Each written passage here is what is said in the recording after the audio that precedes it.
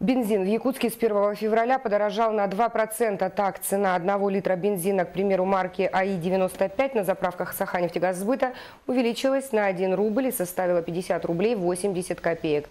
В октябре 2016 года нефтяная компания уже повышала стоимость топлива.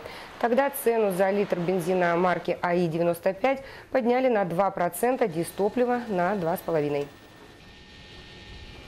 Большим фактором, влияющим на цены э, на территории Республики Саха-Якутия, является, конечно же, э, огромная нагрузка кредитная.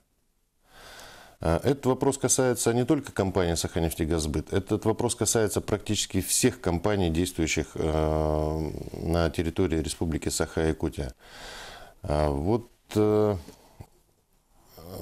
кредитный портфель Э, и э, тот объем процентов, который мы платим ежегодно э, в банке, составляет примерно 1 миллиард рублей –